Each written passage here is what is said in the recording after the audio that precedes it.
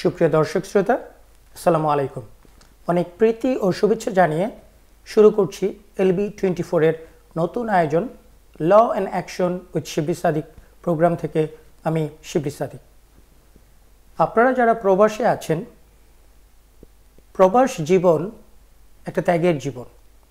বিশেষ করে যারা প্রবাসে থাকেন, প্রবাসে থাকা সত্ত্বেও দেশপ্রেম, দেশাত্মবোধ, দেশের প্রতি টান সবসময় কাজ করে।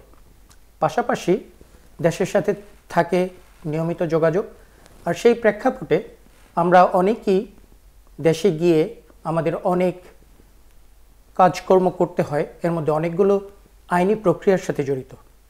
সেরকমই বিষয় নিয়ে আমাদের আজকের আয়োজন। আমরা আজকে চেষ্টা করব যে প্রবাসী হিসেবে যখন আমরা দেশে যাই, যে সমস্ত আইনি প্রক্রিয়ার সম্মুখীন হই যে সমস্ত হয়রানির সম্মুখীন হতে পারি সেই সমস্ত বিষয় নিয়ে আজকে আমরা আলোচনা করব। আমাদের আজকের অনুষ্ঠানের দুজন আমন্ত্রিত অতিথি আছেন। আসুন আমরা পরিচিত হই আমাদের আজকের আমন্ত্রিত অতিথির কাছে। আমার ডানে রয়েছেন বাংলাদেশ জুডিশিয়াল সার্ভিসের একজন অবসরপ্রাপ্ত সিনিয়র ডিস্ট্রিক্ট অ্যান্ড সেশন জাজ, জনাব চৌধুরী মনিরুদ্দিন মাহফুজ। আমার বায়ে রয়েছেন বাংলাদেশ সুপ্রিম কোর্টের অ্যাডভোকেট জনাব মোহাম্মদ শফিকুল্লাহ। আমরা চেষ্টা করব আমাদের এই আমন্ত্রিত অতিথিদের মাধ্যমে প্রবাসীদের, বিশেষ করে বাংলাদেশের আইন অঙ্গনে যে ব্যবস্থাগুলো প্রচলিত আছে, যে ব্যবস্থায় অনেক সময় অনেক রকম হয়রানির শিকার হতে হয়, সেগুলো নিয়ে আমরা একটু খোলামেলা আলোচনা করতে চেষ্টা করব। এবং আশা করি এই আলোচনার মাধ্যমে আপনারা যারাই অনুষ্ঠানটি দেখছেন, তারা নিশ্চয়ই উপকৃত হবেন। আমি প্রথমেই আলোচনার শুরুতে চলে যাচ্ছি। আমাদের আজকের আমন্ত্রিত অতিথি আমার বায়ের, যিনি বসে আছেন, বাংলাদেশ সুপ্রিম কোর্টের আইনজীবী জনাব মোহাম্মদ শফিকুল্লাহ সাহেবের কাছে। জনাব শফিক, আপনি বাংলাদেশ সুপ্রিম কোর্টের একজন কর্মরত আইনজীবী। এই মুহূর্তে আপনি প্র্যাকটিসে আছেন। এবং এই যে আপনি ইউকেতে আসছেন স্বাভাবিকভাবে আপনি ইউকের আইন ব্যবস্থা সম্বন্ধ কিছু অবগত হয়েছেন। যদি এই প্রেক্ষাপট টেনে আমরা যদি বলি যে বাংলাদেশের আইন ব্যবস্থায় বিশেষ করে সিভিল মামলা বলতে আমরা যেগুলো বুঝি এবং প্রচলিত অর্থে আমরা যেটা মনে করি যে জমি ক্রয় বিক্রয় সংক্রান্ত বা ফ্ল্যাট ক্রয় বিক্রয় সংক্রান্ত, এই সমস্ত বিষয়ে আমরা বেশ হয়রানির শিকার হয়ে থাকি অনেক সময়। অনেক গ্রাহক, অনেক ক্রেতা, অনেক বিক্রেতা। এই যে বিষয়গুলো, এই বিষয়গুলোকে আপনি কীভাবে দেখবেন? আসলেই কি হয়রানিগুলো কি কোনো প্রাতিষ্ঠানিক হয়রানি? না, এগুলো প্রক্রিয়ার মাধ্যমে এগুলো আসলে হয়ে থাকে, আবার অনেক সময় ক্রেতা বিক্রেতার অজ্ঞতার কারণে এটা হতে পারে? ধন্যবাদ। শিবলি সাহেব, আসলে বাংলাদেশের যে দেওয়ানি বিষয়টা,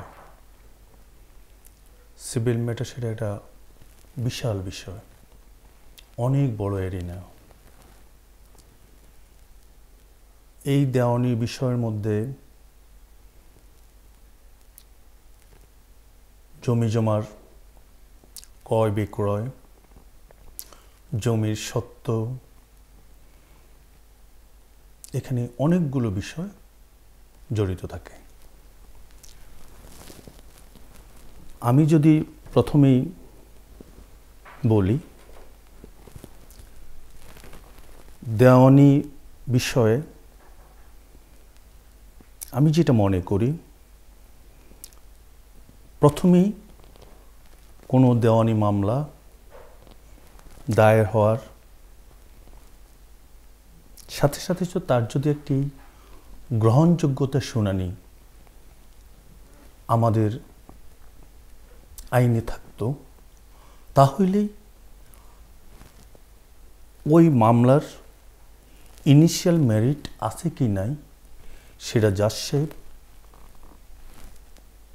বিচার করে দাখিলীয় কাগজাদি দলিলাদি দেখে যদি প্রাথমিক গ্রহণযোগ্যতা শুনানি করেন, সেখানেই কিন্তু যারা বিবাদী শ্রেণীভুক্ত করেছে যাদেরকে তারা অনেকভাবে উপকৃত হয়।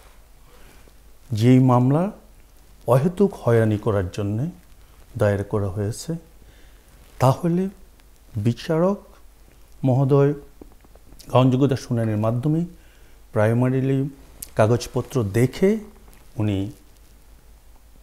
সিদ্ধান্ত দিতে পারেন যে এই মামলা গ্রহণযোগ্য হবে কি হবে না।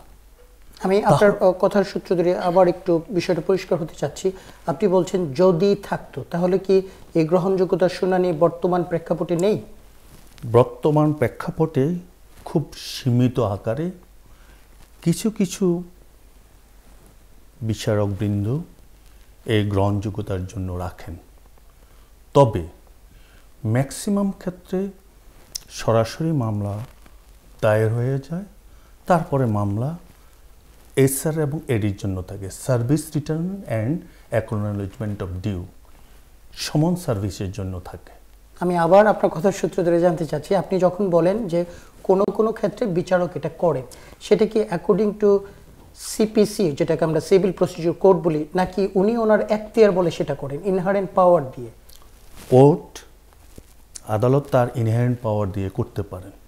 যেখানে স্পেসিফিকই কোনো প্রভিশন না থাকে সেখানে আদালত সেটা ইনহেরেন্ট পাওয়ার দিয়ে করতে পারেন। আমাদের দেশে টোটাল এই সিভিল সিস্টেমে সিভিল লিগ্যাল সিস্টেমে এই মেনটেনেবিলিটি অথবা গ্রহণযোগ্যতা শুনানির কোনো বিধান নাই।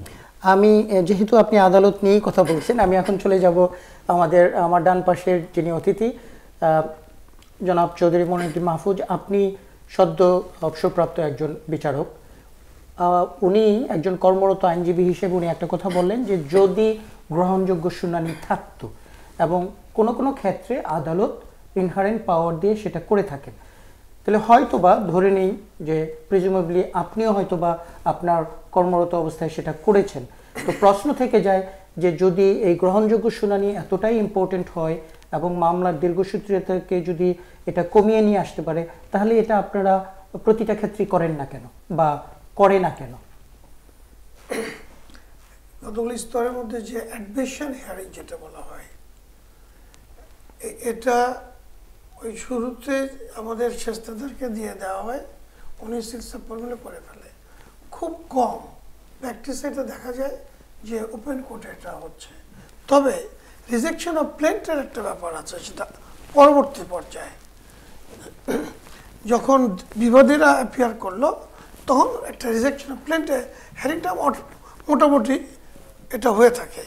অ্যাডমিশন হেয়ারিংটা মামলার চাপের কারণেই এটা তেমন বাস্তবিক প্রয়োগটা হয় না। তবে প্র্যাকটিসটা কিন্তু আছে। এই কাজটা আমাদের মূলত শেষতাদের কাছ থেকে কমপ্লিট করা হয়ে যায়। আর ওটা কারেকশনের জন্য বলছি? আমি ঠিক সদ্য ইয়ে অবসরে যাইনি আমি দু হাজার নয় গিয়েছি। আচ্ছা। তো যাই হোক তো যেটা সিভিল লিটিগেশন যে ব্যাপারটা এটা এমন বলা হয় যখন আমরা ওকালতি পড়ি তখনই শুনে এসেছি যে বাবা ওকালতি থাকতে যে মামলা আরজি মুস্তফিদা করে জমা দিয়ে গিয়েছেন দেখা যাচ্ছে তার ছেলে বা নাতি এসেও সে মামলা চালিয়ে যাচ্ছে। এটা একটা আমাদের অপবাদ তুললেই সিভিল প্র্যাকটিসের উপর করা আছে।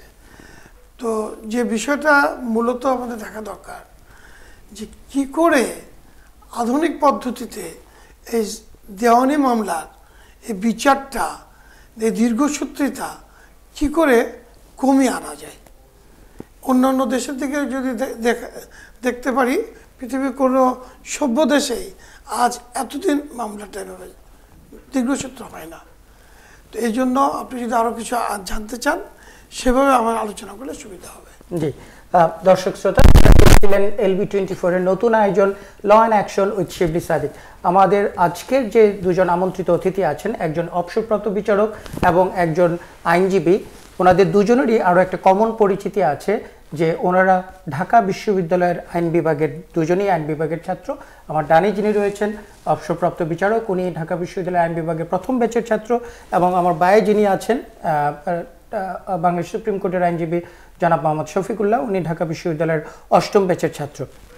জনাব চৌধুরী, আপনি যে কথাটা বলছিলেন যে যদি আরও কিছু জানতে চাই প্রথমেই যে প্রশ্নটা আসে যে উনি এই বিষয়টা হয়তো বা যেহেতু এখন উনি কর্মরত আছেন, প্রথমে আমরা ওনাকে দিয়ে শুরু করব, তারপরে আবার আপনার কাছে আসব। যে জনাব শফিক, উনি যে কথাটা বলছিলেন যে দীর্ঘসূত্রিতা বাংলাদেশের প্রেক্ষাপটে অনেকগুলো বিষয় এখন আলোচিত। সেগুলো হলো মামলার সংখ্যা মাল্টিপ্লিসিটি অফ সুটস আমরা বলছি, মামলার দীর্ঘসূত্রিতার কথা বলছি এবং হয়রানি সব কিছু মিলিয়ে প্রথমেই প্রশ্ন থেকে যায়, এই যে মামলার সংখ্যা, এগুলো কি আসলেই শুধুই মামলা করার উদ্দেশ্যে মামলা, নাকি এগুলো ম্যারিট সম্পন্ন? সেটার পরিমাণটা কীরকম হতে পারে? একজন আইনজীবী হিসেবে আপনি অবশ্যই বুঝবেন, যখন কোনো প্রার্থী অর্থাৎ আইন সহায়তা প্রার্থী যখন আপনার কাছে আসেন, আপনি মামলার মেরিট দেখে হয়তো বুঝতে পারেন যে এটা আসলে মামলা না করলেও হতো, এটা এমনি সেটেল করা যেত কিংবা কোনো সালিসি প্রক্রিয়ার মাধ্যমে অন্য কোনোভাবে। আবার আরেকটা বিষয় হলো যে মামলা ঠিকই হয়েছে, কিন্তু বিভিন্ন আনুষঙ্গিকতার কারণে এত বেশি সময় পার হয়ে গেছে, যেটাকে আমরা বলি যে জাস্টিস ডিলেড জাস্টিস ডিনাইড হয়ে যাচ্ছে। তো সেই ক্ষেত্রে আপনি এই বিষয়গুলোকে কি দেখবেন? এই যে দীর্ঘসূত্রিতা, এই যে সংখ্যা, মামলার সংখ্যা, এগুলোকে আপনি কোন দৃষ্টিকোণে দেখবেন? দেখেন সে বিষয়ে এই দশ লক্ষর মতো মামলা, দেওয়ানি মামলা বাংলাদেশের বিভিন্ন আদালতে পেন্ডিং আছে। একটা সিভিল মামলা দেখা যাচ্ছে যে দশ থেকে পনেরো বছর লাগে শেষ হতে। এটার অনেকগুলো কারণ আছে। সেটা হলো আমি আপনাকে ইতিপূর্বে আমি বলছি যে গ্রহণযোগ্যতা শুনানি হলে আমার ধারণা, আমার অভিজ্ঞতা আমি বলতেছি ফিফটি পার্সেন্ট মামলা ইনিশিয়ালি শেষ হয়ে যেত।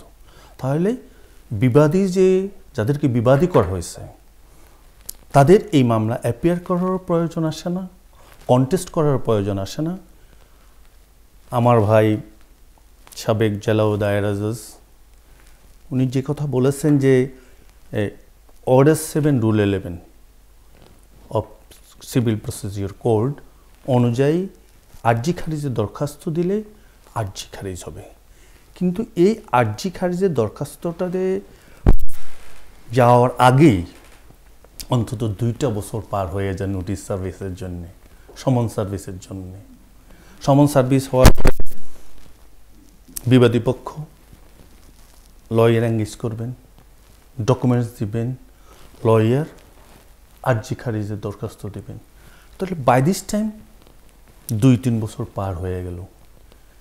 আদালতের যেভাবে সময় নষ্ট, দেখো, তেমনি এটা আমি মনে করি abuse of process of law সেই জন্যে এটা থাকা দরকার।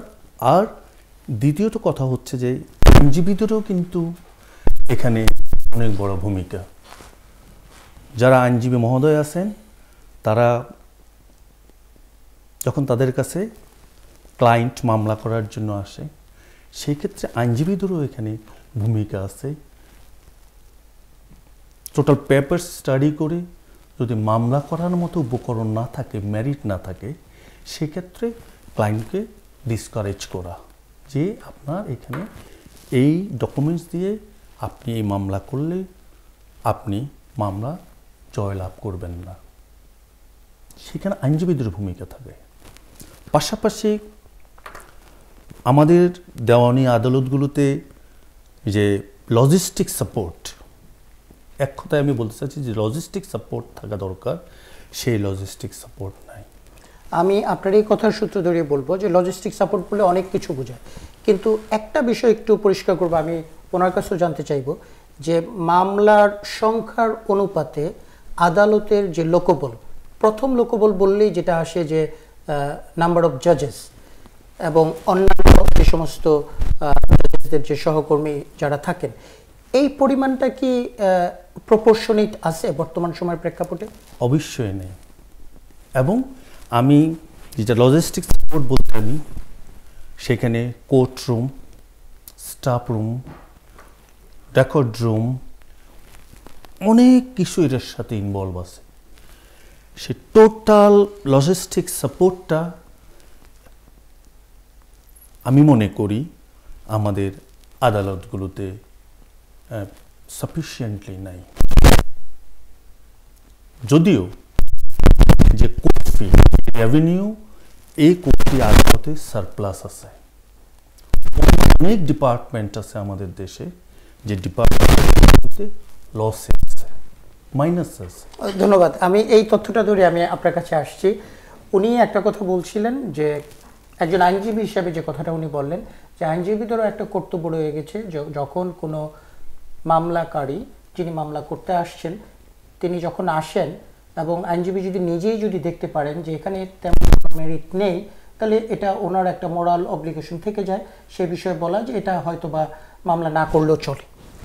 তো এই ক্ষেত্রে কি এরকম কোনো সিনারিও হতে পারে যে একজন সিটিং জাজ হিসাবে আপনি যখন দেখলেন যে এটা আসলে মামলা করার মতো সেই রকম কোনো মেরিট নেই, অযথাই এটা একটা মামলা বা এটা না হলেও পারতো, আপনি কি ওই লয়ারকে এই বিষয়ে কোনো রকম কষন দিতে পারেন একজন বিচারক হিসাবে?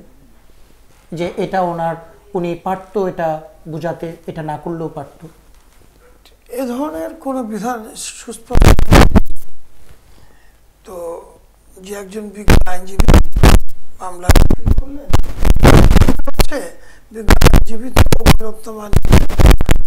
পক্ষে দাখিল করেন। ওনার নিজের কোনো দায়িত্ব ওইভাবে আর থাকে না। চলে যায় ক্লায়েন্টের উপরে। আর প্রত্যেকখানের সূত্রে বলি যে করা হলো প্রত্যাখ্যিত হলো তারপরে তারপরে তো আরও অনেক হয়ে গেছে। এখানে তো শেষ হয়ে যাচ্ছে না। এই সিপিসিরই আরও আধুনিকায়ন করা দরকার। এবং বিজ্ঞ আইনজীবী যেটা আমি এমন অনেক আইনজীবীর কথা জানি, বিজ্ঞ আইনজীবীর কথা জানি আমি নিজেও এক সময় অ্যাডভোকেট করছিলাম যদি বিচারক জীবনের আগে। আমি নিজেও করেছি এবং অনেকে করেছেন যে আমি মামলা বিষয় আপনার কাছে শুনব। যেটা মার্শালিং অফ ফ্যাক্ট বলা হয় ওই পর্যায়টায়। আমি সব শুনব, শুনে আপনাকে বলব মামলাটা করা উচিত হবে কি না। আমাকে এত টাকা ফি দিতে হবে। সব কাগজপত্র দেখে। যেমন একজন ডাক্তার সাহেবের কাছে রুগী যায় বলে, না, তুমি সব কাছে তোমার কোনো রোগ নাই ওষুধ টষুধ কিছুই খেতে হবে না। ঠিক আগে এমন এনজিও আমি দেখেছি এবং নিজেও করেছি যে না, আপনি এটা মামলা করে লাভ হবে না। খামাক আপনি মামলা করতে চান না, উকিল সাহেব যার যে নির্ধারিত নিয়ে নিতে পারেন কিন্তু মক্কেলের সন্তুষ্টির জন্য ব্যাপার আছে, অনেক মামলা জিদাজিদির জন্য ব্যাপার হয়ে থাকে এবং কোনো কোনো ব্যক্তিগত বিজ্ঞ আইনজীবীর হয়তো তকারও মামলাটার নিয়ে একটু ব্যস্ত থাকা, সেটা ডিফারেন্ট তো এ ধরনের সুনির্দিষ্টভাবে কিন্তু ওখানে মামলা করতে আসলে করা যাবে না বলা যায় না। তো। অ্যাডমিশন আমরা- হিয়ারিং এর সময় এই কথাগুলো আসে আসে। না তা না আসে। জি ধন্যবাদ। আমরা এই বিষয়ে আবার ফিরে আসব। আমরা একটা বিরতি পর্যায়ে চলে আসছি। দর্শক শ্রোতা আপনারা দেখছিলেন এলবি টোয়েন্টি ফোরের নতুন আয়োজন law and action with Shibli প্রোগ্রামটি। বিরতির পর আবার আমরা আপনাদের মাঝে ফিরে আসব। সঙ্গে থাকুন। ধন্যবাদ। সালাম আলাইকুম।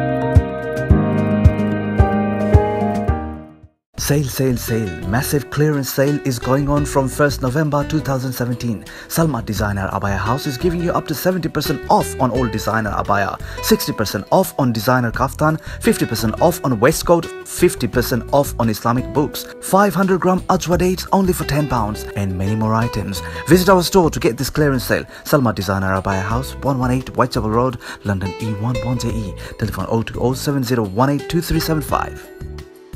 Oasis Banqueting Hall, Barking, is East London's first choice for any occasion, offering a range of services and facilities to suit your needs.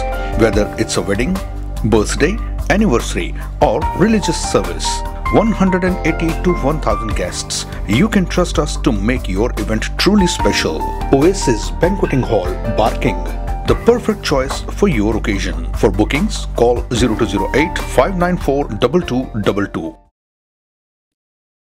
PCO claims mini cab ড্রাইভারের বিপদর বন্ধু, গাড়ি অ্যাক্সিডেন্ট করিয়া জবলেস হওয়ার দিন শেষ। জাস্ট ওয়ান ফোন কলে PCO claims আপনারা দিতে পারে twenty four hours recovery immediate replacement car storage and repair service O two O seven seven nine one double seven double nine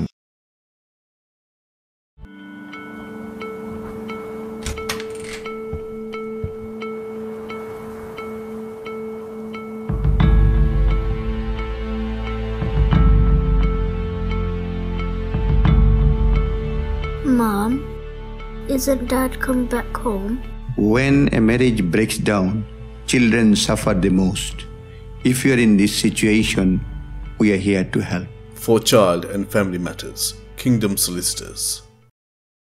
Sale sale sale Salma designer abaya হাউসে clearance sale পহেলা নভেম্বর দুই হাজার সতেরো থেকে। সালমা ডিজাইনার আবায়া হাউস দিচ্ছে সকল আবায়ের উপর সর্বোচ্চ সত্তর পার্সেন্ট মূল্য ছাড়। কাফতানের উপর সর্বোচ্চ ষাট পার্সেন্ট ওয়েস্টকটের উপর সর্বোচ্চ পঞ্চাশ পার্সেন্ট পাঁচশত গ্রাম আজোয়া খেজুর মাত্র দশ পাউন্ড এবং ইসলামিক বইয়ের উপর রয়েছে সর্বোচ্চ পঞ্চাশ পার্সেন্ট মূল্য ছাড়। আজই আসুন এবং আমাদের ক্লিয়ারেন্স সেল অফার গ্রহণ করুন। Salma designer abaya house one one eight Whitechapel road London E one one J E telephone O two O seven zero one eight two three seven five Hello there. Legal Taxi's mobile app is an amazing cloud based taxi booking solution. The taxi drivers and passengers can access this application anytime and anywhere. Are you trying to call up a taxi? Well, don't waste your precious time anymore. And now you can book your taxi at ease. Do you want to know how? It's so simple. Download the Legal Taxis app from the App Store. Enter the location manually or drag the balloon where you want the pickup and drop to happen. Legal Taxis application shows the taxis nearby. On a single click, your request is sent to the nearest driver. The taxi driver will receive your request and accept it instantly. In return, you will receive the notification and you could check the current location of the taxi with the estimated time to reach your pickup location. At the end of your journey, you will receive the receipt of taxi fare in your mobile app. Legal Taxis app not only allows you to book regular taxis but also black cabs, mini cabs, and Hackney carriages. Book your taxi today for a great voyage at Legal Taxis. সালামু আলাইকুম সুপ্রিয় দর্শক শ্রোতা। বিরতির পর আবার আমরা ফিরে আসলাম। সঙ্গে থাকার জন্য ধন্যবাদ। আপনারা দেখছিলেন এলবি টোয়েন্টি ফোরের নতুন আয়োজন law and action Shibli Sadiq প্রোগ্রামটি। আমাদের আজকের এই অনুষ্ঠানে দুজন আমন্ত্রিত অতিথি আছেন। একজন অবসরপ্রাপ্ত জেলা ও দায়রা জজ এবং আরেকজন বাংলাদেশ সুপ্রিম কোর্টের আইনজীবী, যিনি আমার বায়ে বসে আছেন এবং আমার ডানে আছেন অবসরপ্রাপ্ত দায়রা জজ। জনাব চৌধুরী জনাব চৌধুরী যে কথা দিয়ে আমরা বিরতিতে চলে গিয়েছিলাম যে মাল্টিপ্লিসিটি এবং অন্যান্য যে বিষয়গুলো গ্রহণযোগ্যতা শুনানি, এ বিষয় নিয়ে আমরা কথা বলছিলাম। আপনার অতীত অভিজ্ঞতার ভিত্তিতে এবং বর্তমান সময়ের প্রেক্ষাপটে সময়ের ব্যবধানে অবশ্যই মামলার সংখ্যাও বেড়ে গেছে, জনগণও বেড়ে গেছে, মামলার ধরনও অনেক বৃদ্ধি পেয়েছে। তো আপনি কি মনে করেন যে কোন বিষয়গুলো করলে এই সমস্যাগুলো কিছুটা হলো লাঘব হবে? আপনি সেটা কীভাবে মনে করেন? লাঘবের কথা চিন্তা করতে হলে আমাদের আপোষকামিতাকে আরও বেশি উৎসাহিত করতে হবে। কারণ যে কোনো সিভিল লিটিগেশন এর যে মূল কারণই হচ্ছে হয় সম্পত্তি, নাই পারিবারিক কোনো বিষয় বা মানানির বিষয়, এ কয়েকটাই মধ্যে সীমাবদ্ধতাকে ঘুরে বেড়ায়। অথবা সিভিল লিটিগেশন তো আবার আমরা অর্থের আদালতের দিকে গেলেও হতে পারে। এখানে আমাদের মূল মোকদ্দমার সংখ্যাগুলো কমাতে হলে আমাদের একটা আপোষের কালচারটা খুব শক্তভাবে চালু করতে হবে। কারণ ছোটোখাটো যে বিষয়গুলো নিয়ে মামলা হয়, সত্যি খুবই কষ্ট। এবং এক্ষেত্রে আমাকে বলতে হচ্ছে, গ্রিক প্রবাদ আছে একটা, যে মামলা করে কেউ কোনো দিন জেতে না। কেউ গরু হারিয়ে ছাগল পায়, কেউ গরু হারিয়ে ছাগলটাও পায় না। আর যে হেরে গেল, সে তো সব কিছু হারিয়ে ফেলল। আর যে যেটা নিয়ে মামলা করল পুরাটা না পেল, কিছুটা পেলেও তো পেল। এর মধ্যে তো মামলার অন্য অনেক খরচ আছে। সেগুলা তো তাকে খরচগুলো নির্বাহ করে তাকে পেতে হলো। এই জন্য আমাদের মূল আপোষকামিতার দিকে উৎসাহিত করতে হবে এবং মামলা করা থেকে মানুষকে নিরুৎসাহিত করার জন্য একটা সামাজিক চাপ, আন্দোলন এ ধরনের কিছু দরকার। না হলে এই মামলার চট সহজে নিরসন করার আপাতত কোনো উপায় দেখি নেই। একসময় বলা হতো যে মামলা এখনও ইয়ে মন্ত্রণালয় থেকে বা সুপ্রিম কোর্ট থেকে চাপ দেওয়া হয় যে মামলা দ্রুত নিষ্পত্তি করো, দ্রুত নিষ্পত্তি করো।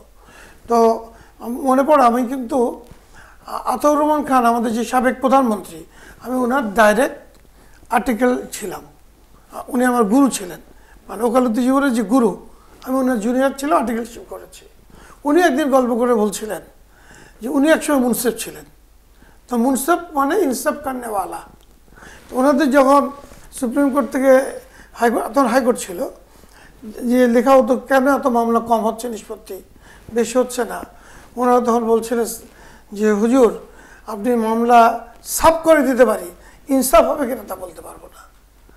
ট্রুলি খুব বেশি চাপাচাপি করলে মানে সুস্থ বিচারটাও হবে না, এটাও ঠিক।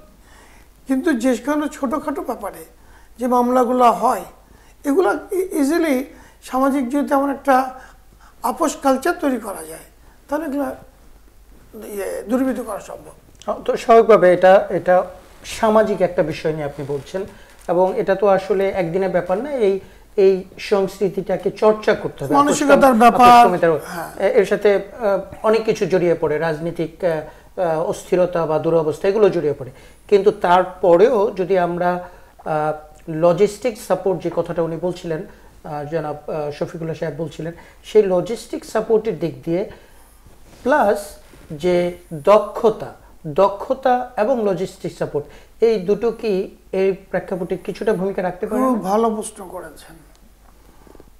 তখন মনে পড়ে গেল যখন জেল এরশাদ সবের সময় আমাদের ডিসেন্ট্রালাইজেশন হয়ে গেল মামলাগুলো উপজেলা পর্যায়ে নিয়ে যাওয়া হলো।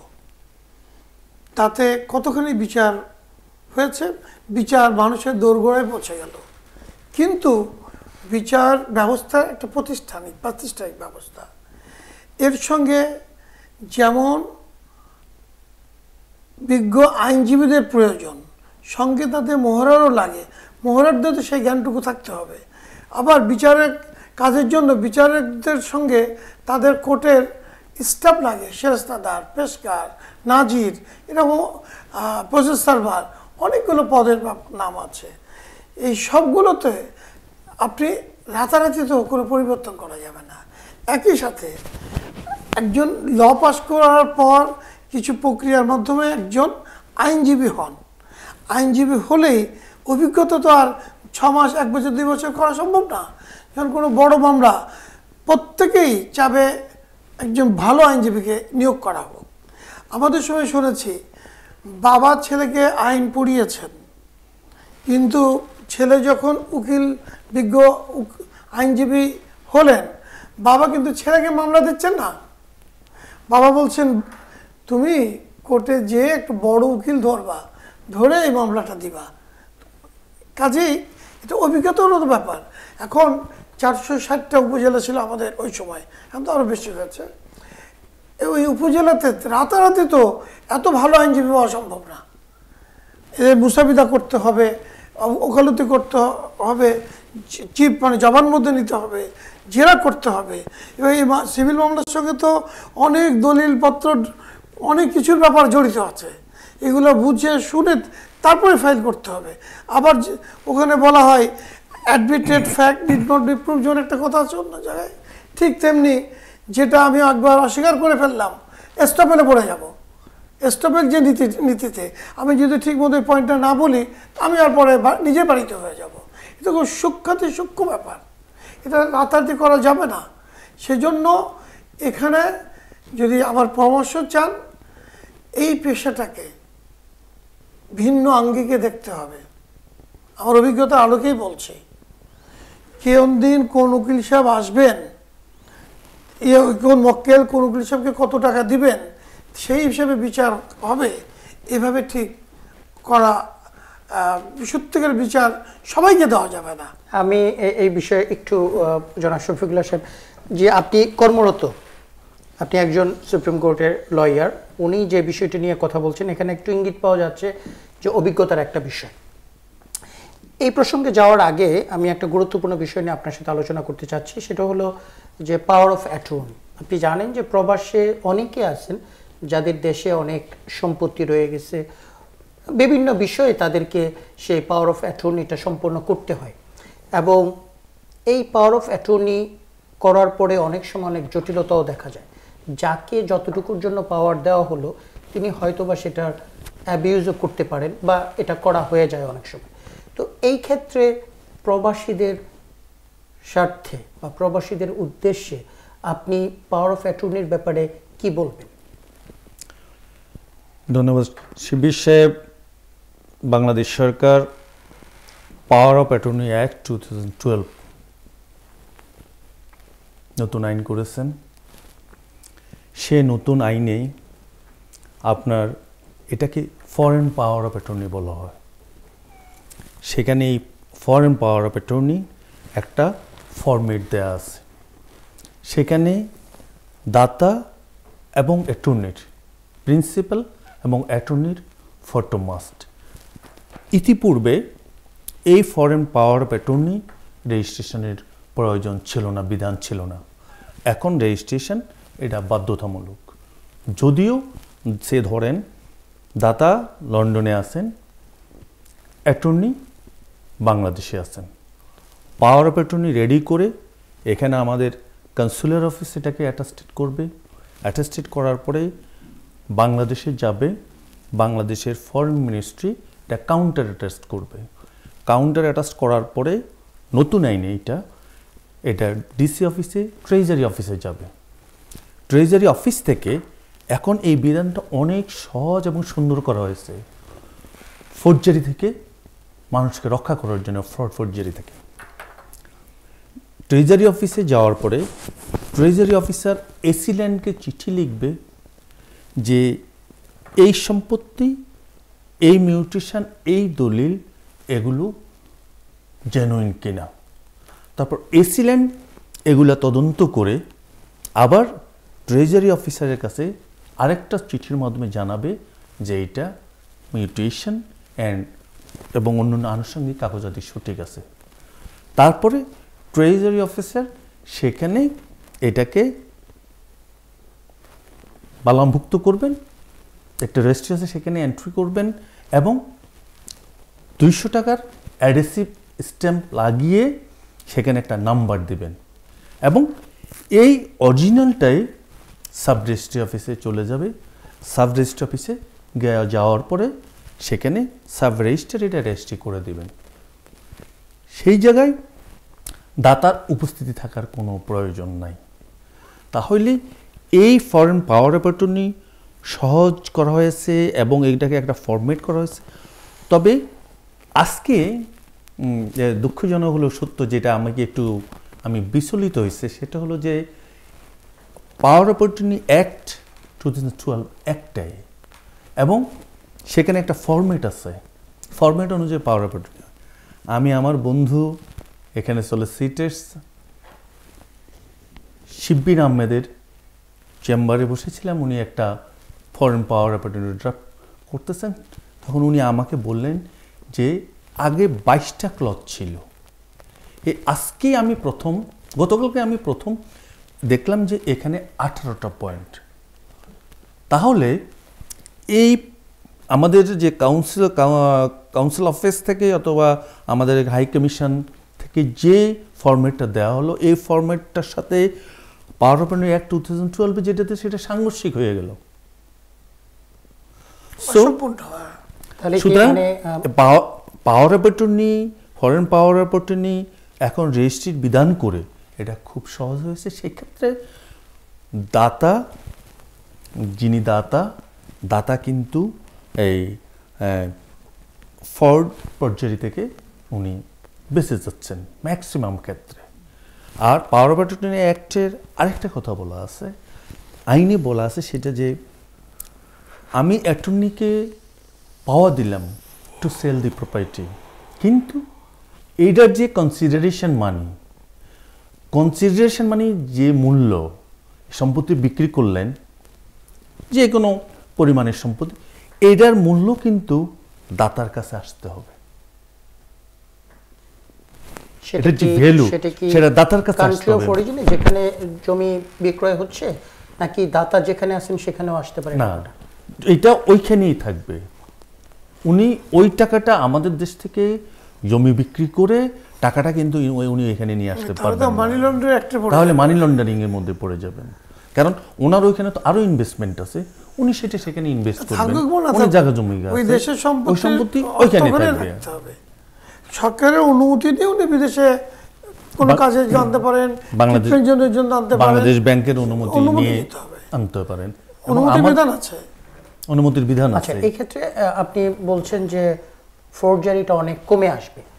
যদি কোনো কারণে দাতা তার সিদ্ধান্তে পরিবর্তন করতে চায় এবং ইতিমধ্যে পাওয়ার অফ অ্যাটর্নির অনেক কিছু কার্যক্রম শুরু হয়ে গেছে। সেই ক্ষেত্রে কি দাতা সেই পাওয়ার অফ অ্যাটর্নি উজ্জ্ব করতে পারবেন? ক্যান্সেল করতে ক্যান্সেল করতে পারবেন। পাওয়ার অপরচুনি ক্যান্সেল করতে পারবেন। উনি যদি সন্দেহ করেন যে আমার এই পাওয়ার অপরচুনি অ্যাবিউজ হচ্ছে হুম? সেক্ষেত্রে উনি এটা ক্যান্সেল করতে পারেন। উইথে prior notice to the attorney cancel করে দিতে পারেন। সিমিলার একটা documents revocation of power of attorney সেই রিভোকেশন অফ পাওয়ার অপরচুনি এখানে করে ওই সিমিলার প্রসেসে গেলেই সাব রেজিস্ট্রি অফিসে এটা রেজিস্ট্রি হয়ে যাবে। এখন অনেক সিম্পল হয়ে গেছে। ম্যাটারটা অনেক সহজ হয়ে গেছে। সত্যি কি? আমাদের দেশের কিছু কিছু আমাদের মান্ধাত আমলের ব্যবস্থা প্রয়োগের জন্য আমরা সাফার করছি বটে। কিন্তু আমাদের দেশের বিভিন্ন সরকার সময় সময় সময় সময় ভালো ভালো আইন প্রণয়নের মাধ্যমে এটাকে অনেক আগিয়ে এনেছেন, অনেক যুগোবুজি করে এনেছেন। যেমন আমাদের বর্তমান নিবন্ধন বা সম্পত্তি রেজিস্ট্রি করার বিষয়টা, ক্রয় বিক্রয় বা যে কোনো ধরনের হস্তান্তরের এই যে রেজিস্ট্রেশনের যে নিয়মকানুনগুলো এত আধুনিক করা হয়েছে। আগের অনেক জটিলতা কমে গিয়েছে এবং এরকম রেজিস্ট্রেশন থেকে যে মামলাগুলো উৎপত্তি হতো, সেগুলো গোড়াতেই শেষ হয়ে গিয়েছে। ঠিক একইভাবে নামজারি সহ অন্যান্য অনেক কিছুতেই আমাদের দেশের আইনের অনেক অগ্রগতিও আছে। এবং সেই জিনিসগুলোই আমি একটু বলতে চাই যে বিচার ব্যবস্থার সঙ্গে আমাদের যদি এখন যারা বিভিন্ন বিশ্ববিদ্যালয়ে আইন পড়ছেন প্রত্যেক বিশ্ববিদ্যালয়ে আইন হচ্ছে এখন নম্বর এক নম্বরের আগ্রহের বিষয়। আইনের চান্স না পেলে তখন অন্যগুলাতে যায়। আগে ছিল ইকোনমিক্স ইংলিশের ইংলিশ ফলে এই মেধাবী ছাত্রদেরকে যারা অগ্রগতিতে আসছেন পরবর্তীতে আমরা যদি আমরা একটা চিন্তা করতে পারি আমি যেহেতু বিচারক হিসেবে দীর্ঘ জীবন কাজ করেছি অগ্রগতি করেছি। আমার নিজস্ব চিন্তা, আমি দায়িত্ব নিয়েই বলছি, যারা ইন্ডিভিজুয়াল প্র্যাকটিস করতে চান তারা করবেন।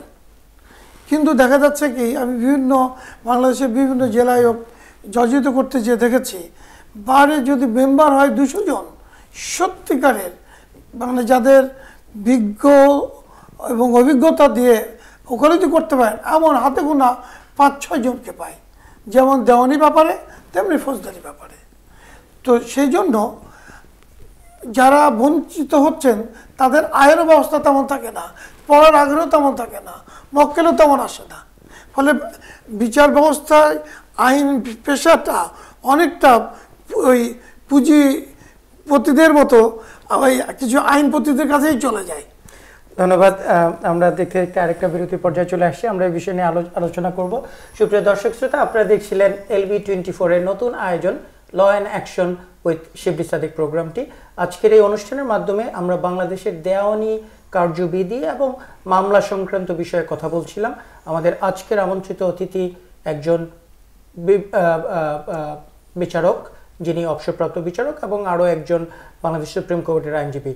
বিরতির পর আবার আমরা ফিরে আসব। আমাদের সঙ্গেই থাকুন। ধন্যবাদ। সালাম আলাইকুম।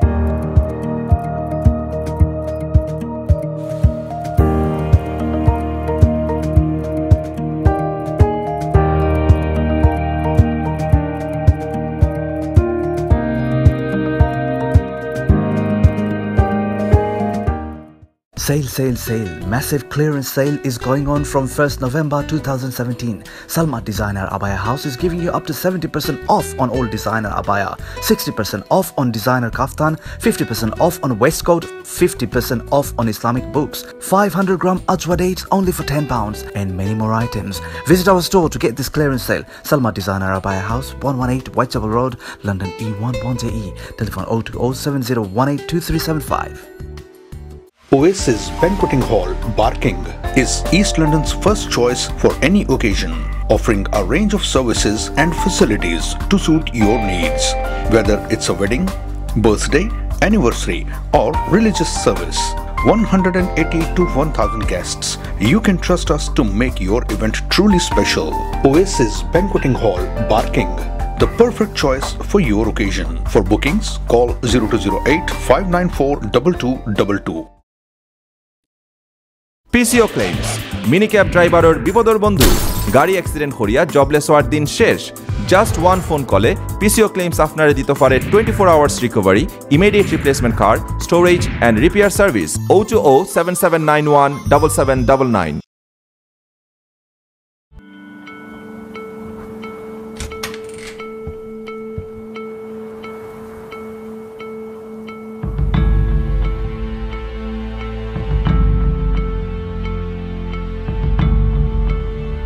Mom, isn't Dad come back home?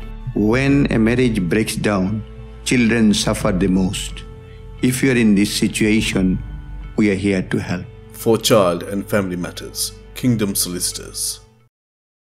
Sale sale sale Salma designer abaya হাউসে ক্লিয়ারেন্স সেল পহেলা নভেম্বর দুই হাজার সতেরো থেকে। সালমা ডিজাইনার আবায়া হাউস দিচ্ছে সকল আবায়ের উপর সর্বোচ্চ সত্তর পার্সেন্ট মূল্য ছাড়, কাফতানের উপর সর্বোচ্চ ষাট পার্সেন্ট ওয়েস্টকোটের উপর সর্বোচ্চ পঞ্চাশ পার্সেন্ট পাঁচশত গ্রাম আজোয়া খেজুর মাত্র দশ পাউন্ড এবং ইসলামিক বইয়ের উপর রয়েছে সর্বোচ্চ পঞ্চাশ পার্সেন্ট মূল্য ছাড়। আজই আসুন এবং আমাদের ক্লিয়ারেন্স সেল অফার গ্রহণ করুন।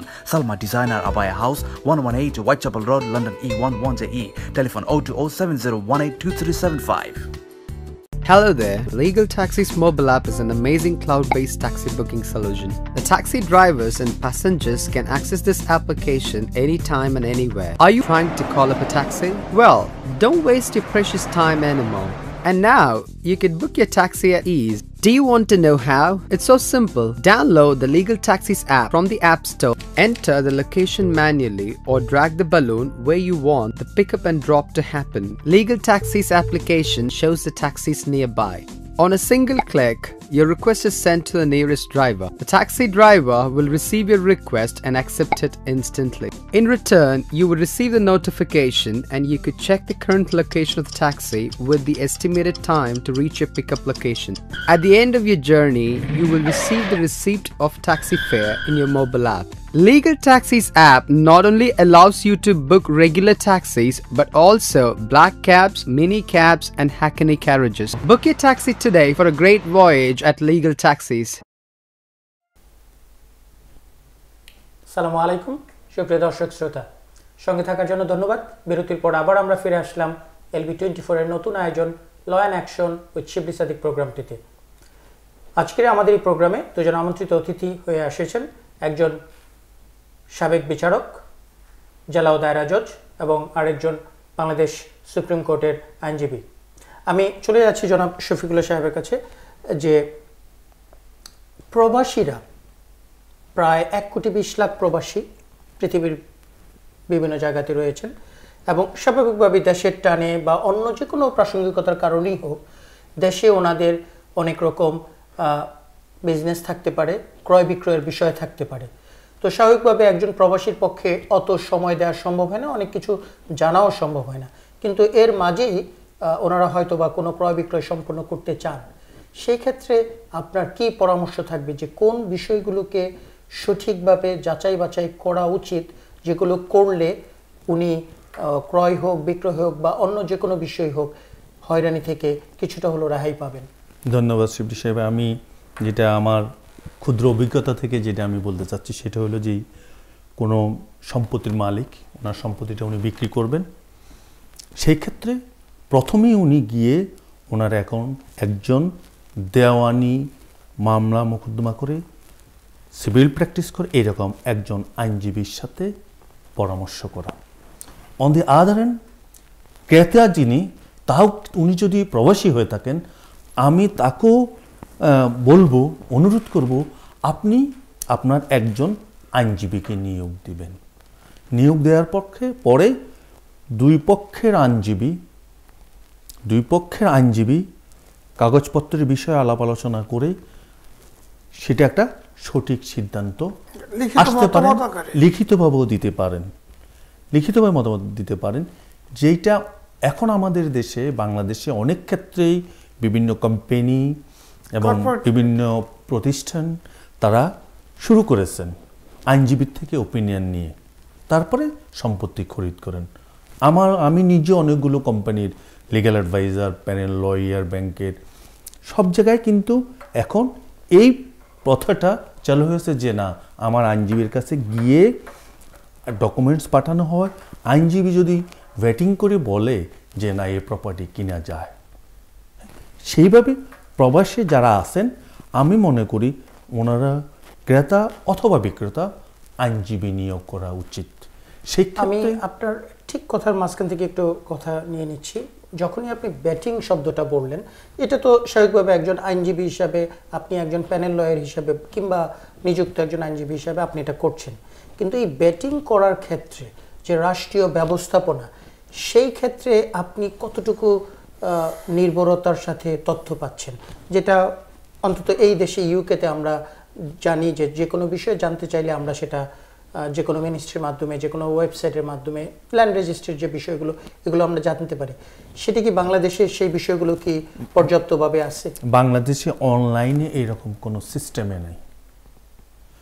শুধুমাত্র স্পেসিফিক অফিসে গিয়ে সাবডেস্ট্রি অফিস এসিলেন্ডার অফিস তহসিল অফিস ভূমি অফিস যেটাকে বলে, সেগুলো গিয়ে এই সম্পত্তিটার অথেন্টিসিটি এই মিউটেশন ঠিক আছে কিনা? যিনি দাতা, বিক্রেতা, ওনার এই নামে মিউটেশন আছে কিনা? খাজনা ক- কত পর্যন্ত পরিশোধ আছে। CS S A R S খতিয়ান অনুযায়ী উনি সম্পত্তির টাইটেলটা ঠিক আছে কিনা? এই অফিসে গিয়ে, তহসিল অফিসে গেলেই মেইনলি এই বিষয়গুলো বের হয়ে আসবে। এইটা ক্রেতা ইজিলি গিয়ে এই খবরটা নিতে পারেন। কিন্তু আমাদের দেশে অনলাইনে এরকম কোনো ডাটা সিস্টেম নাই যে আমি একটা ক্লিক করলেই আমি ঘরে বসে সকল সিস্টেম আমি জেনে যাব। এটা আমাদের দেশে করা সম্ভব হয় নাই। অতীতে এটা একটা চেষ্টা ছিল, কিন্তু সেটা বাস্তবায়ন করা সম্ভব হয় নাই। তবে এই রকম ক্রয় বিক্রয়ের ক্ষেত্রে এই যে শত বৎসরের শত শত বৎসরের যে দলিল, দশ পাতা, পনেরো পাতা, বিশ পাতা, পঞ্চাশ পাতা, একশো পাতার দলিল, এইটা পরিবর্তন হওয়া দরকার। সেই ক্ষেত্রে এই উন্নত বিশ্বের দেশগুলোতে যেভাবে হচ্ছে, সেটাকে ফলো করে সেই মডেলটাকে আমাদের দেশে ইন্ট্রোডিউস করা ইন্ট্রোডিউস করা উচিত বলে আমি মনে করি। এখন তো কিছুটা হয়েছে এখন এখন ফরম্যাট হয়েছে। কিছুটা হয়েছে।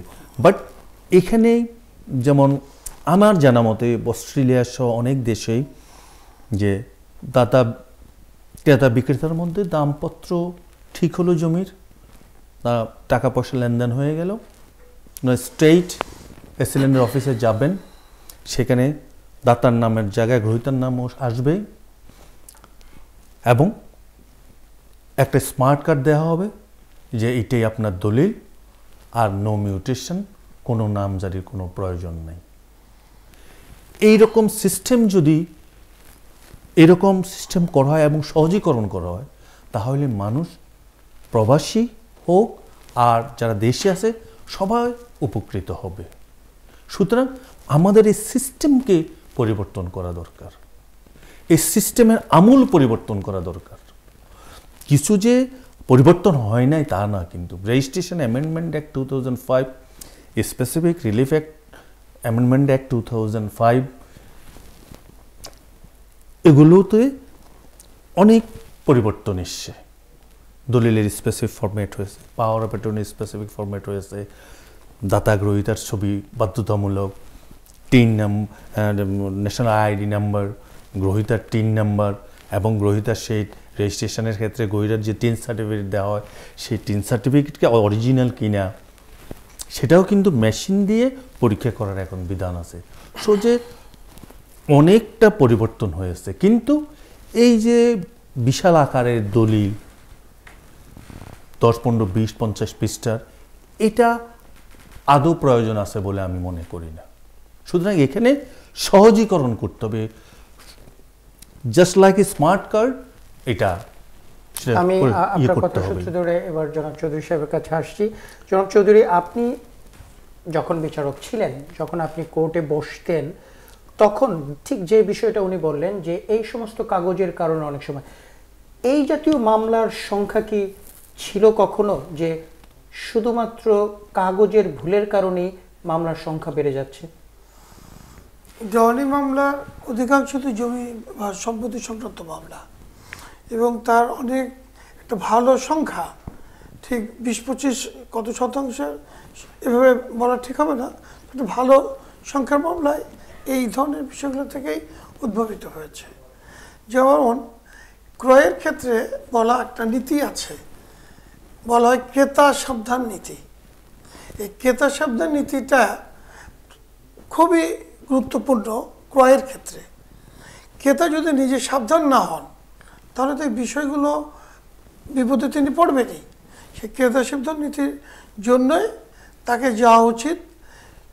একটু আগে আমাদের শ্রমিক সাহেব যেটা বললেন, যে সেরকম বিজ্ঞ আইনজীবীর কাছে, যার তার কাছে না, গ্রামে কিছু টাউট শ্রেণি আছে যারা সব ব্যাপারে নাক গলাতে চায়। তাদের কাছে গেলে তিনি যেমন কপ ডাক্তারের কাছে অপারেশন করলে তো রোগীর কি হবে? ঠিক সেরকম। আপনি মানে রিয়েল যারা পেশার সঙ্গে জড়িত, তার কাছে গেলে ক্রেতা শব্দ নীতি অনুযায়ী দেখা যাবে, তার আপনাকে প্রথম একটা কতগুলো প্রশ্ন দিবেন যে এই জমির আগে মালিক ছিল কে? এইগুলো কয়েকটা প্রশ্ন দিলে প্রশ্নগুলো ফিল আপ করলেই নাইনটি পার্সেন্ট ঝামেলা শেষ হয়ে যাবে। এইভাবে যদি সিস্টেমেটিকলি করা যায়, এখন সেভাবেই আমাদের দেশের পরিবর্তনটা হয়েছে, খুবই ইতিবাচক। আমি কিন্তু আমার দেশের বিচার ও আইন ব্যবস্থার দিকে ইতিবাচক এগোচ্ছে এটুকু আমি আশাবাদী। সেখানে এই দলিল যে আগে ফরম্যাট ছিল কশ্যপত্র বিদং কার্যন চা আগে এর অর্থ কেউ বুঝতো না।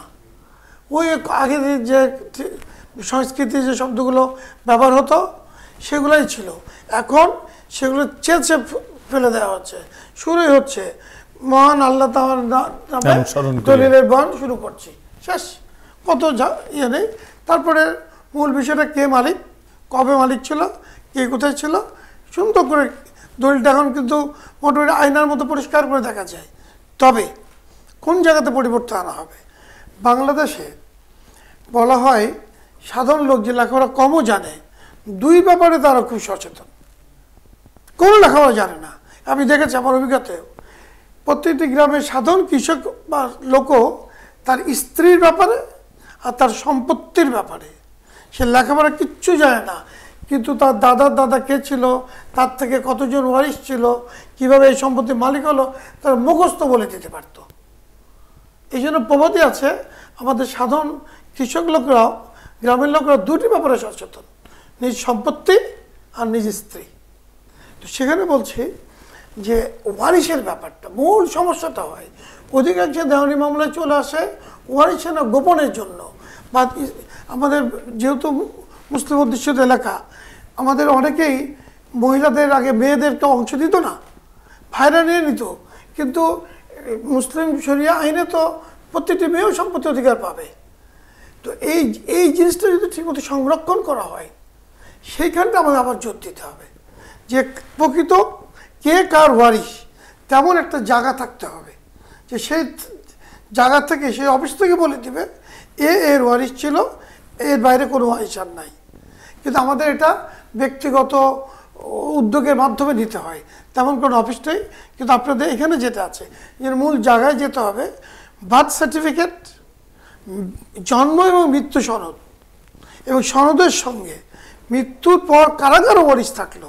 এই তা যদি ঠিক মতো থাকে, তাহলে আমাদের দেওয়ানি মামলার এই সব জমি সংক্রান্ত মামলা অনেক কিছুই অনেক কমে যাবে। ধন্যবাদ। আপনার কথার সূত্র ধরে আমি এখন জনাব শফিক সাহেবের কাছে যাচ্ছি। আপনি একটা প্রবাদ বললেন যে সম্পত্তি এবং স্ত্রী। বাংলাদেশের একটা তথ্যগত একটা উপাত্ত এরকম যে একটা সময় ছিল যখন বাংলাদেশের মামলার সত্তর শতাংশই ছিল জমি এবং নারী সংক্রান্ত।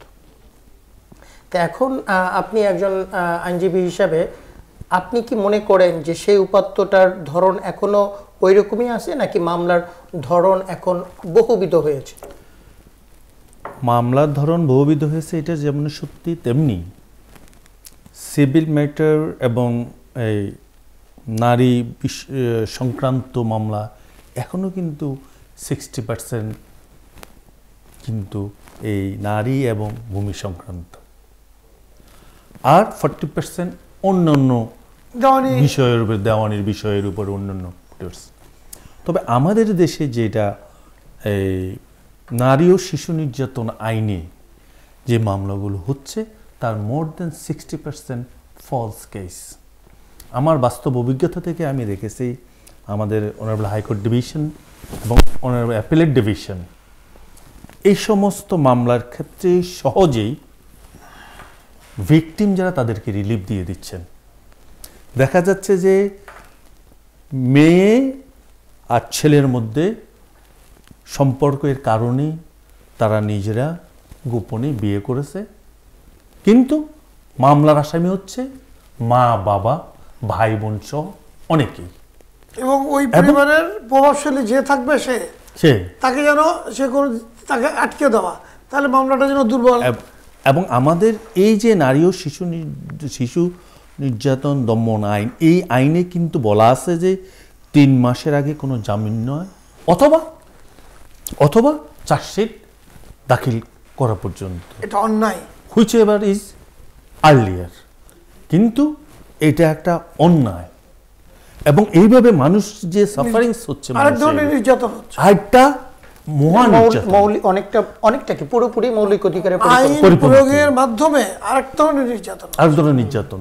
আমি নিজের আমার বাস্তবিক যদিও আমি ফৌজদারি মোকদ্দমা করি না কিন্তু আমার জানা মতে দেখা মতে শোনা মতে বহু মামলায় বহু বয়স্ক মা বাবা মামলার আসামি জেল খাচ্ছেন জেলে পচে মরছেন। কিন্তু এটা কোনো হিউম্যানিটি না। এই আইন সংস্কার প্রয়োজন এই আইন পরিবর্তন প্রয়োজন এবং আমি যেটা আবার রিপিট করতে চাচ্ছি সেটা আমাদের high honourable high court division appellate division এই বিষয়টা খুব লিনিয়ান ভিউতে দেখে।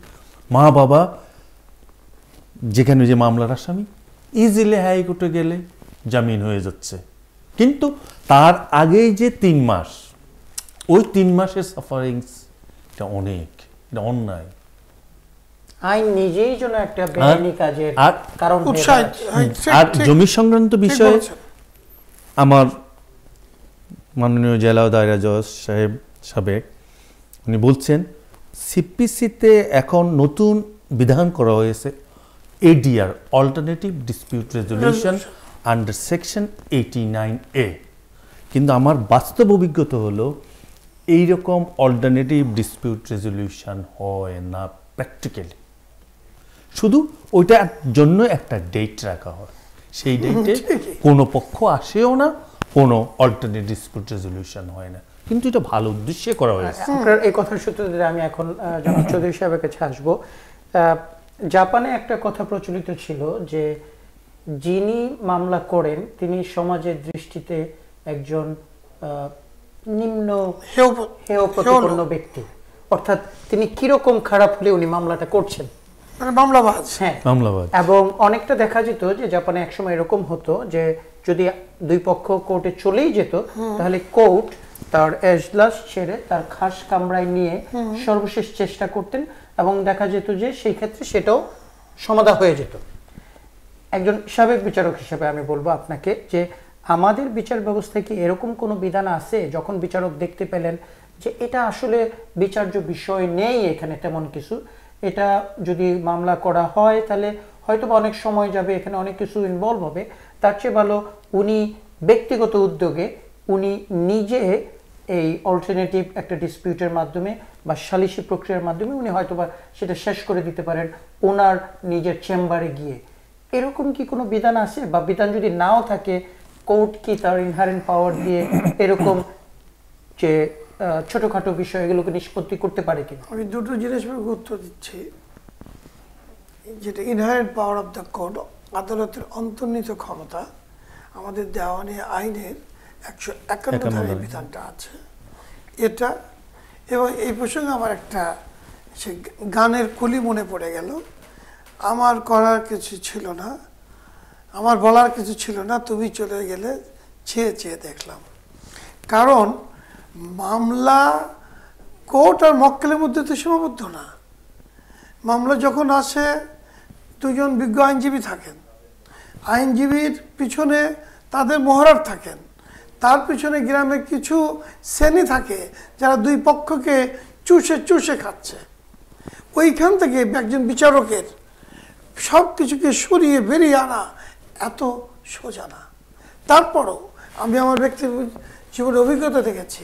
আমি সবার আগে কোর্টের সবচেয়ে বড় বন্ধুকে, কোর্টের সবচেয়ে বড় বন্ধু, বড় শক্তি হচ্ছে বিজ্ঞ আইনজীবী বৃন্দ আমি আমার জীবনে অনেক মামলা, যেমন দেওয়ানি, পারিবারিক এবং ফৌজদারি। আমি বিজ্ঞ আইনজীবীদের চেষ্টা করেছি আমার কথাবার্তা, যুক্তি দিয়ে বুঝিয়ে তাদেরকে আগে মানে সম্মত করেছি। করে আমি খাস কামরাও করেছি, ওপেন কোর্টেও করেছি করেছি এবং করা যায়। উদ্যোগ যদি কিন্তু কোর্টের তেমন একটা উদ্যোগ থাকতে হবে। তার পিছনে লাগে তার নিজেরও তেমন জ্ঞান বুদ্ধি ও সততার জোর থাকতে হবে। এর চেয়ে বেশি আর বললাম না। সেটা হলে লোকে কথা শোনে। আমি ওনার বক্তব্যের সাথে একটু অ্যাড করি। আমাদের পারিবারিক মামলায় ফ্যামিলি কোর্টের মামলায় প্রি ট্রায়ালের একটা ব্যবস্থা আছে। সেই প্রি ট্রায়ালে উভয় পক্ষকে নিয়ে জাজ সাহেব বসেন। যেমন সিপিসিতে এইটি নাইন এতে এডিআর আছে তেমনি পারিবারিক মামলায় পারিবারিক একাধিক মামলা একাধিক শ্রেণির মামলা পারিবারিক মামলায় প্রি ট্রায়ালের একটা ব্যবস্থা আছে। সেই প্রি ট্রায়ালে জজ সাহেব পক্ষের আইনজীবী এবং পক্ষকে ডাকেন। সেক্ষেত্রে দাম্পত্য জীবন পুনরুদ্ধারের হোক সেক্ষেত্রে সন্তানের নাবালক সন্তানের কাস্টোডিয়ানের মামলা হোক অভিভাবকত্ব হোক। অভিভাবকত্ব হোক এক্ষেত্রে প্রি ট্রায়ালের ব্যবস্থা আছে। সুতরাং এগুলোকে জোর দিতে হবে। অনেকটা উনি যে বলেছেন আগেই একটা সামাজিক আন্দোলন করতে হবে। মানুষের মধ্যে এই জাগরণ সৃষ্টি হতে হবে যে compromise is the best solution আমার কিছু লস হলেও আমি কম্প্রোমাইজ করি আমার আদার সাইডের সাথে। সেই ক্ষেত্রে আইনজীবীদের ভূমিকা অনেক। আমি আমি স্মরণ করব মরহুম মাহমুদুল ইসলাম সাহেবকে, বাংলাদেশের সাবেক অ্যাটর্নি জেনারেল এবং সংবিধান একটা বইও লিখেছে সংবিধানের উপরে কনস্টিটিউশনের উপরে উনি অনেক বই আছে। ওনাকে বলা হইতো সিভিল ম্যাটারের মাস্টার উনি আমাকে অনেক মামলা আমি ওনার সাথে পরামর্শ করতে গিয়েছি যে, স্যার এই মামলাটা মেরিট আছে কি নাই? উনি আমাকে বলে দিয়েছেন যে এই মামলার মেরিট নাই এই মামলার মেরিট আছে। ইভেন এটা একটা মডেল রোল মডেল উনি। আমার এক মামলা নিয়ে গেছে আমি ওনার কাছে। হাইকোর্ট ডিভিশন উনি আমার মামলাটা করে দিবেন অন্তত বিশ বছর আগের কথা বলছি আমি। উনি আমার আদার সাইডের নাম শুনেই উনি বলছেন যে সরি শফিক সাহেব এইটা তো আদার সাইড আমার দুঃসম্পর্ক, আত্মীয় হয়। প্লাস এইটার বিষয়ে উনি আমার কাছ থেকে একটু পরামর্শ নিয়েছিলেন। আমি আপনাকে কোনো পরামর্শ দিতে। পারি না। সেই রকম আইনজীবীর প্রয়োজন আমাদের। ওই রকম মানসিকতার আইনজীবীর প্রয়োজন আপনি যখন এই কথাটা বললেন তখন চলে আসে কোড অফ কন্ডাক্টের কথা। তো এটা তো আহ, বাংলাদেশ বার কাউন্সিলে আসি এই- জাতীয় code of conduct conflict of ইন্টারেস্টের কথা আসি। তো এইটার ভায়োলেশন হলে কি স্বাভাবিকভাবেই একজন আইনজীবীর আহ, বিরুদ্ধে তো একটা ব্যবস্থা নেওয়া যেতে পারে? আপনি কি না যেতে পারে না হয়। হয় ট্রা- বাংলাদেশে হয়। বার কাউন্সিল ট্রাইব্যুনাল আছে। কিন্তু ওই পর্যন্ত কতজন যায়? সবচেয়ে কি ইথিক্সের যে ব্যাপারটা সেটা তো আমার কাছে রোজা রাখার মতো। রোজার মাসে কেউ যদি বাথরুমে যেয়ে বা লুকিয়ে কিছু খেয়ে ফেলে পানি খায় তাহলে তো কেউ দেখল না। কিন্তু আমার প্রতিকৃত প্রকৃত রোজাদার তো তা করেন না। ঠিক ইথিক্সটাও তো এরকম আমার নিজের কাছে। আমি অনেকে তো এই কেউ জানবে না বলেও অনেক বুদ্ধি দিয়ে দিচ্ছেন যেটা আমাদের সম্মানিত বিজ্ঞ আইনজীবী বাহাদুর রাজা স্যার দেননি। এরকম বিজ্ঞ আইনজীবীর সংখ্যা হাতে গোনা। আমি ওনার এই বক্তব্যের সাথে আরেকটু সংযোগ করতে চাই। সেটা হলো যে যেমন বিপিটিসিতে ব্যারিস্টারি পড়তে আসার পর এখানে যে ইথিক্স একটা সাবজেক্ট আছে। আমার মতে আমাদের দেশের প্রত্যেকটি ল ডিপার্টমেন্টে এথিক্স সাবজেক্টটা কম্পালসারি করা উচিত। তাহলে ছাত্র জীবনে সে কী কি ইথিক্যাল কী কি আনইথিক্যাল সেটা করা, সেটা পড়ানো হলে তারা বুঝতে পারবে যারা প্রফেশনে আসবে ইভেন যারা জুডিশিয়ারিতে যাবে, সবাই উপকৃত হবে। কিন্তু এই সাবজেক্টটা ইন্ট্রোডিউস করা দরকার এবং এটা ইন্ট্রোডিউস করে প্লাস এখন শুরু হয়েছে যেমন ঢাকা বিশ্ববিদ্যালয়ের আইন বিভাগে শুরু হয়েছে যে মক কোর্ট মক ট্রায়াল যেটা আমরা পাইনি।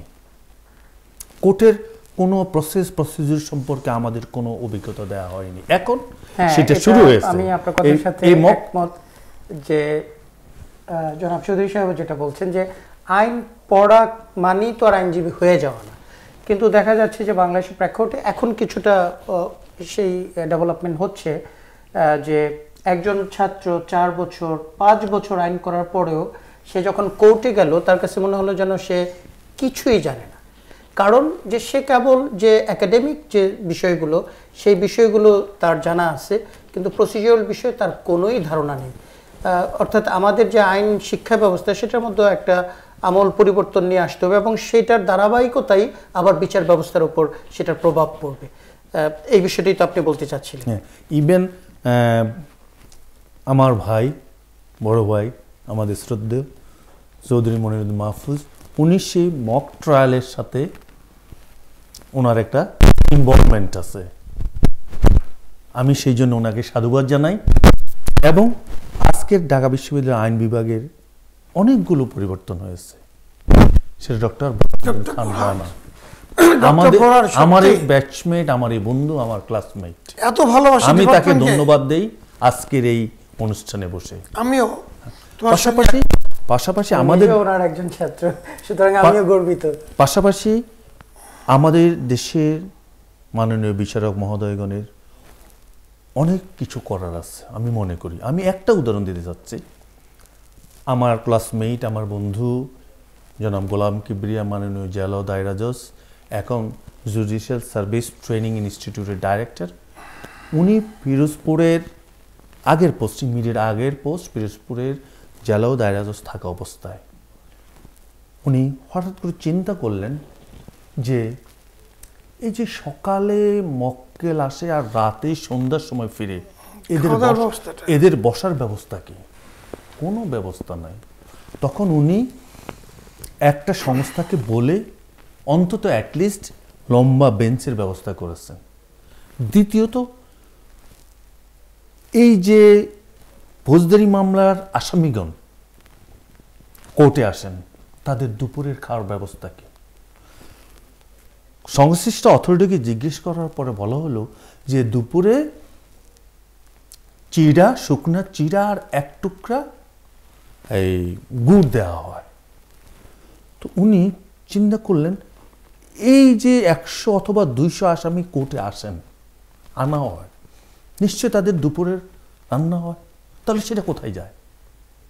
তখন উনি জেলারকে এবং এসপিকে ডেকে পাঠালেন। উনি জেলারকে, এসপিকে জেলারকে জিজ্ঞেস করলেন যে, এই দুইশো আসামি পার ডে এবার এই যে দুইশো আসামি পার ডে কোর্টে আসেন। ওনাদের দুপুরের খাওয়ার কি? স্যার, উত্তর হলো যে দুপুরে তো আমাদের কোনো আয়োজন নাই। রান্না হয় ঠিকই, কিন্তু এখানে পাঠানোর কোনো ব্যবস্থা নেই। তখন মাননীয় জেলা দায়রা জজ গুলাম কিবিরা সাহেব বললেন, এসপি সাহেব, আপনার পুলিশের ডিউটির সময় দুপুরে অথবা রাতে বিভিন্ন এলাকায় যারা ডিউটিরত, পেট্রোল ডিউটিতে আছে, তাদের কাছে খাবার যায় না? যায়, স্যার। তাহলে এখানে ইম্পসিবল কেন? এখানে তো আসা সম্ভব। যখন এদের রান্না হয়, আসামিদের, তারা কিন্তু কনভিক্টেড না। তাদের পানিশমেন্ট হয়ে যায়নি তাদের খাবার এখানে আসবে না কেন? আমার বন্ধু তাদেরকে দিয়ে এই প্রভিশনটা ওখানে করে এসছেন যে তাদের খাবার দুপুরে পুলিশের মতো যেরকম খাবার বিতরণ হয় তাদের খাবার এখানে আসবে, তারা খাবে, তাদেরকে এবং পানীয় সরবরাহ করতে হবে। তিন বছর অত্যন্ত সুনামের সাথে ধন্যবাদ ধন্যবাদ জনাব শফিক। মূলত যে বিষয়টা আপনি বলতে চাচ্ছেন যে উদ্যোগ নিলে আসলে অনেক পরিবর্তনই আনা সম্ভব। সম্ভব। আহ, ধন্যবাদ আপনাদের দুজনকে আমাদের এই অনুষ্ঠানে আসার জন্য। সর্বশেষ যেহেতু আমরা অনুষ্ঠানের মাধ্যমে চেষ্টা করছিলাম যে প্রবাসীদেরকে কীভাবে এই অনুষ্ঠানের মাধ্যমে বাংলাদেশের বিচার ব্যবস্থা নিয়ে কিছুটা ধারণা দেওয়া যায় এবং কিছুটা উপকার করা যায়। তো সেই জন্য আমরা অনুষ্ঠানের যেহেতু শেষ পর্যায়ে চলে আসছি আমি আপনাকে জনাব আহ, মনোদ্দিন চৌধুরী আপনাকে অনুরোধ করব যে প্রবাসী দর্শকদের উদ্দেশ্যে আপনি তিরিশ সেকেন্ডে যদি কোনো রকম আহ, কোনো পরামর্শ দিতে চান। আমি প্রবাসী যারা আছেন বাংলাদেশের তাদের জন্য স্পেশাল একটা আইন সেল করা উচিত। তাদের যে ধরনের সমস্যাগুলো সে আইন সেলের কাছে বলবেন এবং আইন সেল সেভাবে এটা সমাধান করবেন। এটা খুবই দরকার। ধন্যবাদ। আমি আপনার কাছে চলে আসছি যে আপনি শেষবারের মতো আমাদের দর্শক শ্রোতাদের বিশেষ করে প্রবাসী দর্শক শ্রোতাদের উদ্দেশ্যে কি বলবেন? আমি প্রবাসী দর্শক শ্রোতাদেরকে বলতে চাই নতুন সেল না হওয়া পর্যন্ত ওয়ান স্টপ সার্ভিস সেল না হওয়া পর্যন্ত আপনারা যে কোনো আইনগত বিষয়ে ফৌজদারির ক্ষেত্রে ফৌজ ভালো একজন ফৌজদারি আইনজীবী দেওয়ানির ক্ষেত্রে একজন ভালো দেওয়ানি আইনজীবীর সাথে আপনারা প্রথম পরামর্শ করবেন। তাদের সাজেশন নেবেন। অ্যাজ পার দেয়ার সাজেশন আপনারা কাজ করবেন তাহলে আপনারা প্রতারিত হবেন না। আমি প্রতারিত হবেন না এবং আপনাদের অনেক উপকার হবে। কারণ আমাদের দেশে সাধারণত প্রবাসী এবং দেশি আইনজীবীদেরকে অ্যাভয়েড করতে চায়। এটা ঝামেলা মনে করে। কিন্তু ঝামেলা মনে করবেন না, আপনারা অত্যন্ত অল্প সময়ের জন্য যান, তবু আইনজীবীর কাছে গিয়ে পরামর্শ নিলে আপনারা প্রতারিত হবেন না। ধন্যবাদ ধন্যবাদ আপনাদের দুজনকে। আমাদের এই অনুষ্ঠানে আসার জন্য সুপ্রিয় দর্শক শ্রোতা, দেখতে দেখতে আমরা অনুষ্ঠানের শেষ পর্যায়ে চলে আসলাম। আমরা যারা প্রবাসে আছি, আমরা জানি দেশে অনেক সমস্যা আছে। আমরা জানি যে দেশে গেলে অনেক সময় হয়রানিরও শিকার হতে হয়। কিন্তু তারপরেও আমরা দেশমুখী হই, কারণ আমরা দেশকে ভালোবাসি। দেশের প্রতি আমাদের যে টান, দেশের প্রতি আমাদের যে মমত্ববোধ, সেই প্রেক্ষাপটে অনেক সময় বলা যায় যে দেশকে ভালোবাসি বা দেশকে ভালোবাসা যায়, এটা প্রমাণ করার জন্য কাউকে হয়তো বা একবারের জন্য হলেও প্রবাসী হওয়া উচিত। প্রবাসী হলেই দেশের প্রতি যে টান, সেই টানটা আরও উপলব্ধি করা যায়।